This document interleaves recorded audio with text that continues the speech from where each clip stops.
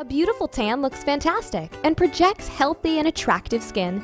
Sunshine may be free, but it's not always around, especially for those living in the Sedro-Woolley area in Washington. At On Track Tanning, you can maintain a summer glow all year round with our exceptional staff, premium tanning beds, and high quality products.